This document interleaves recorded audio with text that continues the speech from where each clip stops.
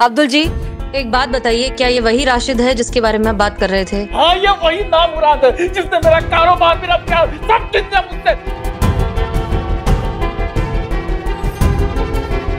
रुक जाइए। अरे लेकिन ये चोर है पकड़ो इसे। ऐसे कैसे राशिद साहब को चोर बोल सकते हैं? अरे तंबूरा राशिद साहब। अरे चोर है ये चोर। लाहौल बला कुव्वत हमारी इतनी पुरानी दोस्ती है और ये कोई तरीका है सलाम दुआ करने का? सलाम? अरे सलिए में डाल के तंदूर बनाऊँगा तुम्हारा। अब्दुल जी प्लीज़ एक मिनट एक मिनट हम समझाते हैं ये अब्दुल जी हैं और इनका ऐसा कहना है कि इनकी लिखी हुई जितनी भी नज्में हैं जितनी भी शायरियाँ हैं जो कुछ भी है वो दरअसल इन्होंने चुरा ली है।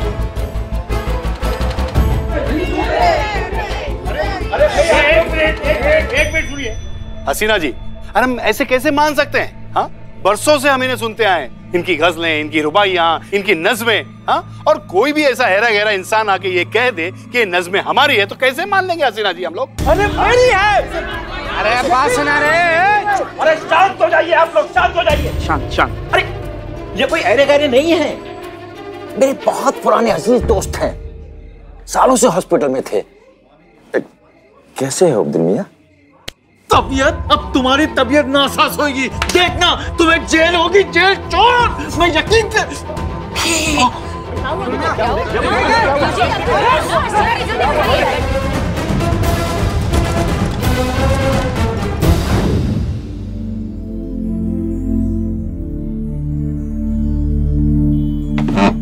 देखिए, इन्हें होश आ गया है, लेकिन इनकी कंडीशन काफ़ी क्रिटिकल है। इनके दिमाग को स्ट्रेस नहीं होना चाहिए। किसी भी तरह का शौक नहीं लगना चाहिए। तीस साल तक कोमा में थे तो दिमागी तौर पर अभी भी उन्नीस में है। अगर इन्हें पता लगेगा कि ये 2022 चल रहा है और इनके जीवन के 30 साल बीत चुके हैं तो इन्हें गहरा सदमा लग सकता है। हो सकता है ये फिर से कोमा में चले जाएँ या फिर ब्रेन हेमरेज के कारण इनकी डेथ हो जाए।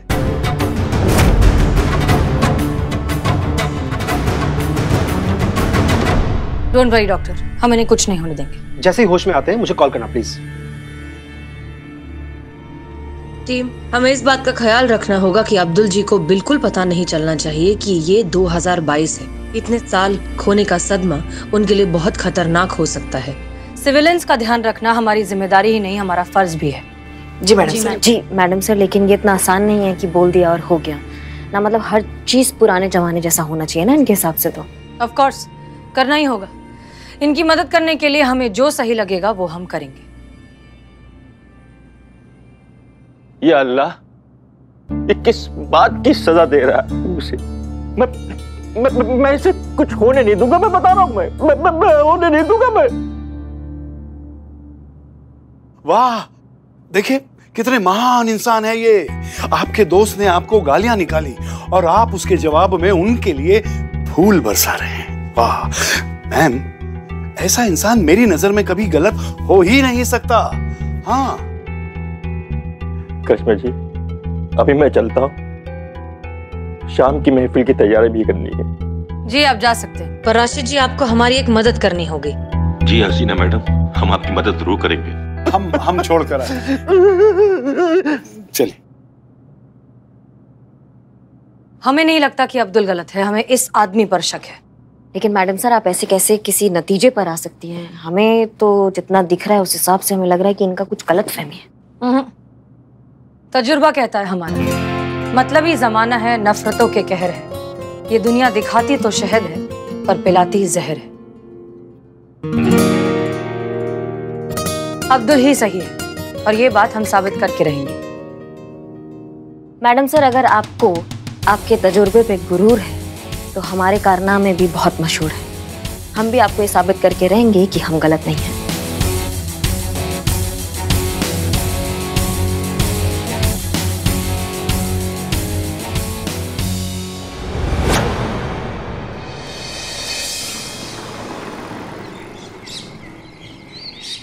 Side side side side side side side side. ये कौन आया? टडन आज से no Honey no Badshah. Only Rafi Sahab Kishore Sahab लता दीदी सैगल साहब नूर जहाँ बेगम वाह वाह वाह। बस यही सब बजेगा।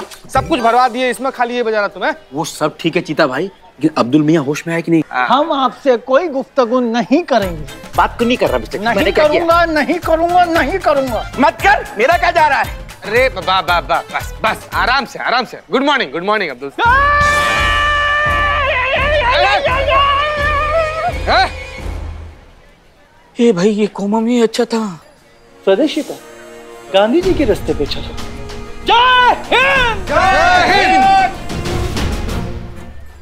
आज से हर कोई हिंदी में सलाम दुआ करेगा। हिंदी हिंदी।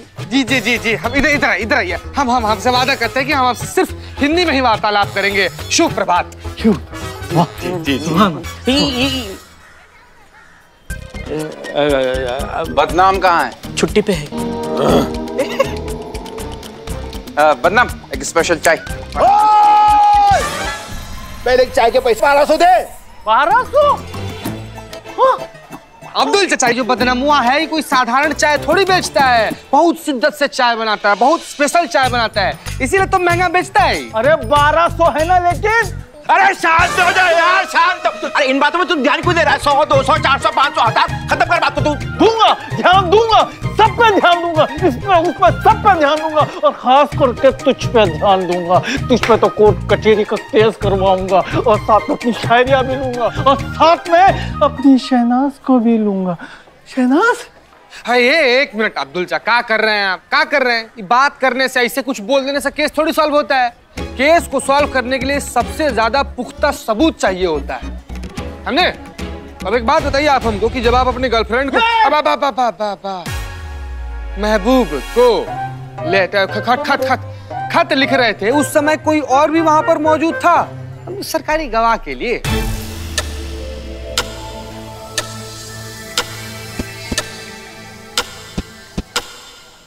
हाँ! था ना कौन कौन कौन? हरिलाल कृष्णा और रामलाल। ये तीनों थे।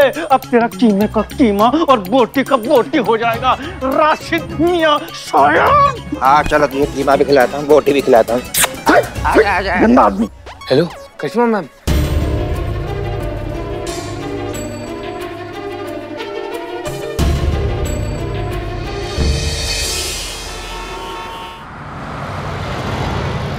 कहाँ जाना भैया राइट लेना राइट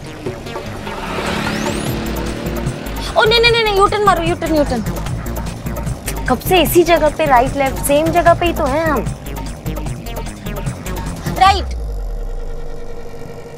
ओ, नहीं नहीं यूटर्न मारो यूटर्न मारो फिर से। अरे, एक मिनट रुको रुको रुको, आप रुको। रोक दीजिए रोक दीजिए, भाई साहब, रोक दीजिए। एक मिनट है, भाई साहब।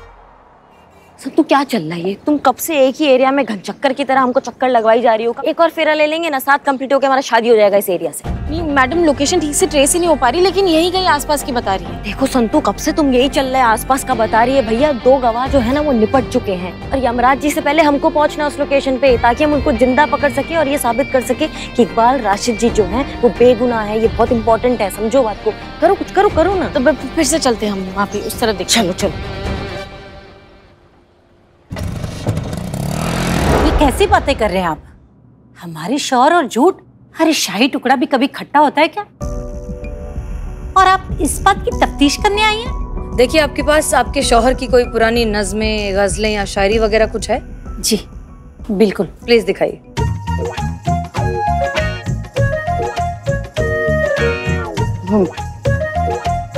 ये लीजिए। इसके अलावा ऐसी और भी बहुत सारी किताबें हैं। नहीं नहीं इतनी काफ़ी। है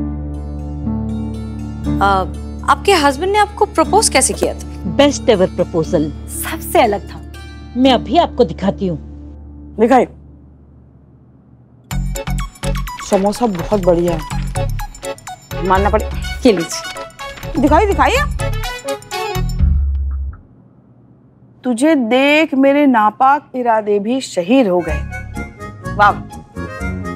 यूँ तो आवारा थे हम पर अब तशरीफ़ हो गए।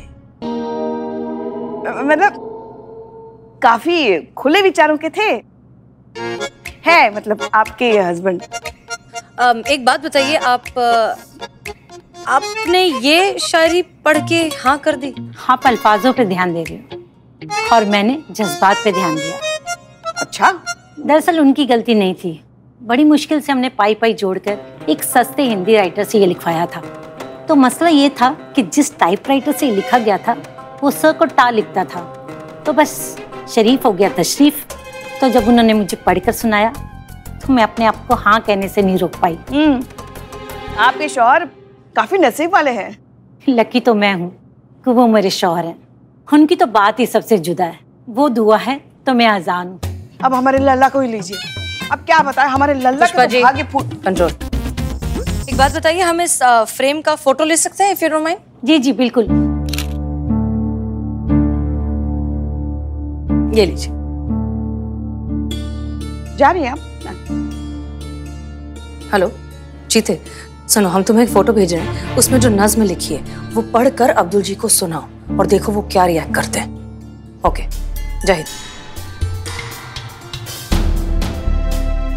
बस बस यहीं पे रुको। कहाँ यहाँ? रोको रोको रोको। कहाँ? अ, एक मिनट भाई साहब। यहाँ पे भी ताला लगा है। अब शायद बाहर गए होंगे किसी से पूछते हैं। हाँ। भाई साहब इधर आइए। यहाँ जो रहती है फैमिली कहाँ शिफ्ट हो गए। इनको तो काफ़ी समय हो गया यहाँ से शिफ्ट किए हुए। कोई एड्रेस है जिससे हमारी हेल्प हो सके? नहीं माफ़ कीजिए। इनके नए एड्रेस के बारे में हमें कुछ नहीं पता। हम्म धन्यवाद धन्यवाद।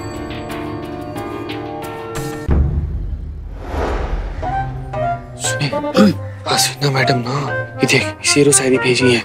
इसको क्या करना है कि इसको हम लोग को अब्दुल्ला को पढ़वाना है?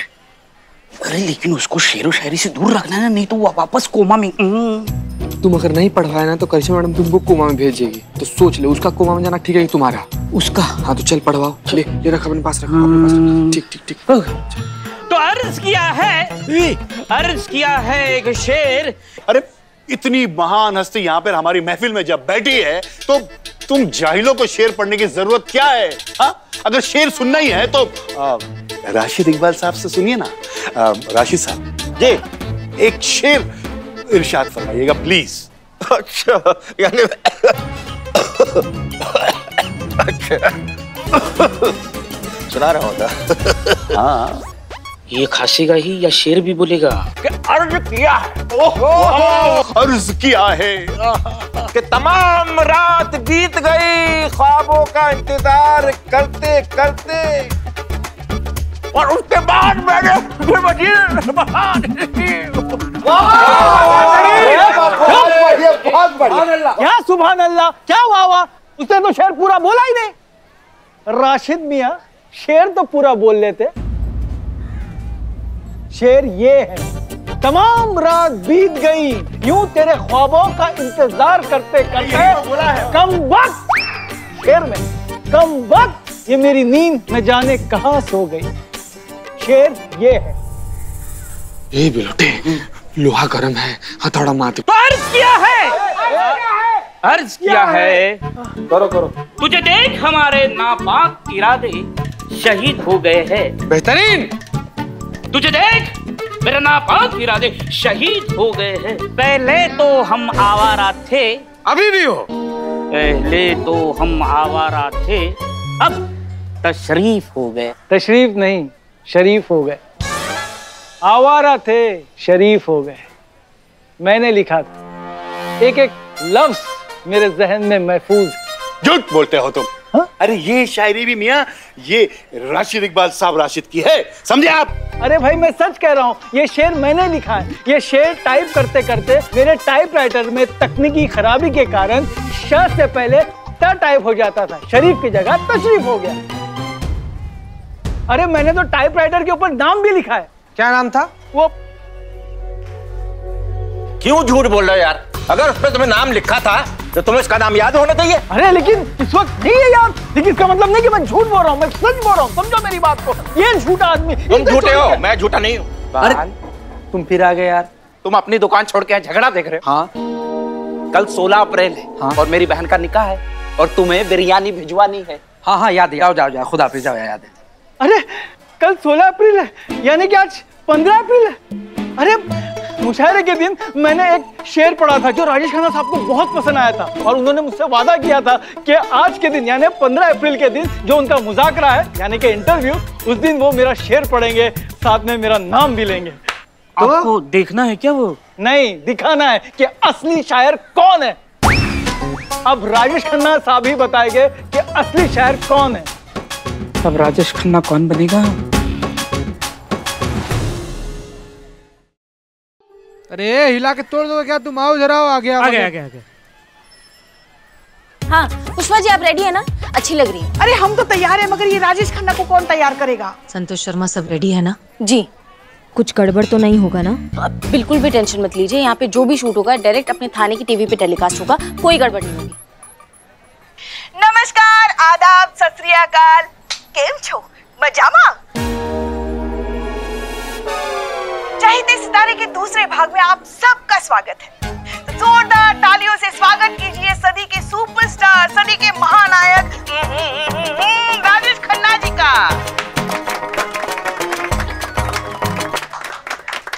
आइए आइए, बैठिए। तो कैसे हैं आप, राजेश जी? हाँ हाँ आप तो ठीक ही हो कैसे, राजेश खन्ना? बीमार है क्या? राजेश जी, पिछला जो भाग था, वो आपके शेर पे खत्म हुआ था। तो हम चाहते हैं कि ये हिस्सा भी आपके शेर से ही शुरू हो।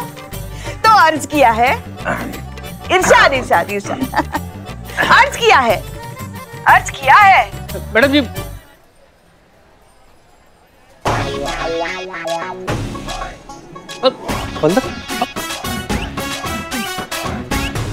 मैडम, मुझे कंप्लेन लिखवानी है। इधर इधर है भैया इधर देखिए बोलिए क्या क्या क्या- हाँ? बोलिए बोलिए क्या कंप्लेंट लिखवाना बोलिए हमसे। देखिए मैं एक राइटर हूँ और मेरा एक एड कंपनी के साथ एग्रीमेंट हुआ था जिसके अनुसार पाँच साल बाद उन्हें मुझे दस लाख रुपए देने थे। आज पंद्रह अप्रैल 2022 को पर आज वो देने से मना कर रहे हैं।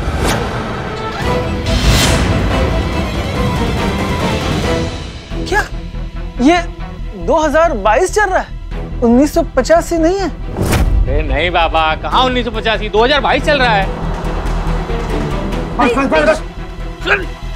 अभी कोमा में मत जाना देखिए देखिए मिस्टर अब्दुल मिस्टर अब्दुल हमारी बात सुनिए। देखिए दरअसल सच्चाई ये है कि आप पिछले 30 सालों से कोमा में अभी अभी जागे हैं 2022 में। डॉक्टर्स ने हमें मना किया था कि ये सच्चाई हम आपको बताएँ इसलिए हमने ये सारा ड्रामा किया है। मेरी ज़िंदगी के कीमती 30 साल ये इसी में चले गए। देखिए अब्दुल में हम आपको समझाते हैं। नहीं नहीं। कुछ समझाने की ज़रूरत नहीं भाई। अभी कुछ नहीं। सब ठीक। माफ़ करना दोस्त। गलती हो गई दोस्त। तीस साल पहले जो मैंने कंप्लेन लिखाई थी मैं वापस लेता हूँ।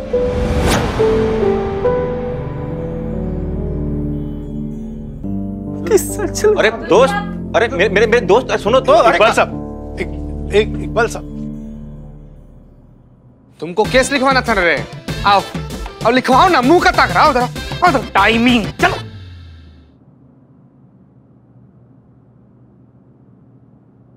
नहीं हमारे इस महिला पुलिस थाने में कभी भी कोई भी केस वापस नहीं लिया जाता। सिर्फ़ सॉल्व होता है। और इस केस की जड़ तक भी हम पहुँच के रहेंगे।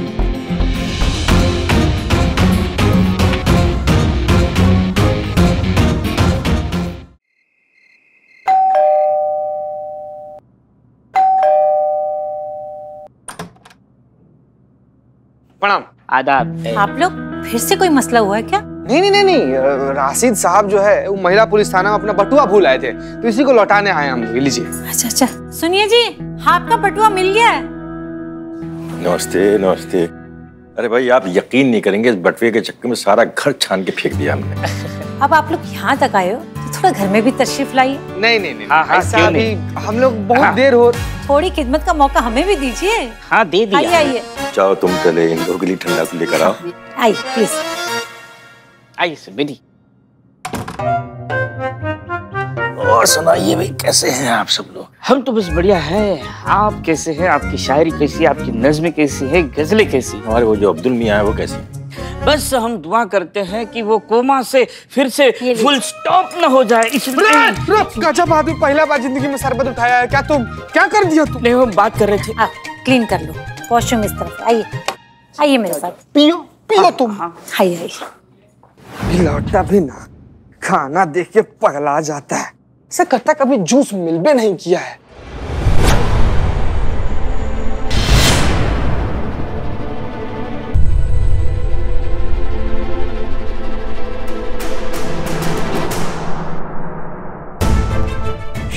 शहनाज अगर ये टाइपराइटर रसीदा के पास है तो उस वक्त कह नहीं बताया?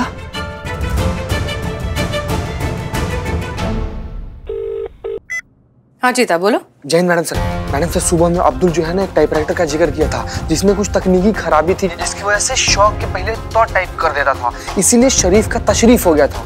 वो टाइपराइटर वो ना रसीदा के घर पर है मैडम। हम देख लिए हैं और उस पर जो नाम लिखा हुआ है ना वो शहनाज है। मैडम हमको आप खाली ऑर्डर दीजिए मैडम। अभी अभी चवन बाहर रसीदा को नहीं गिरफ़्तार करके लेकर आते हैं हम। नहीं नहीं सुनो सुनो रुक जाओ ऐसा कुछ मत करना। हम बताते हैं क्या करना है ठीक है? ध्यान से सुनो।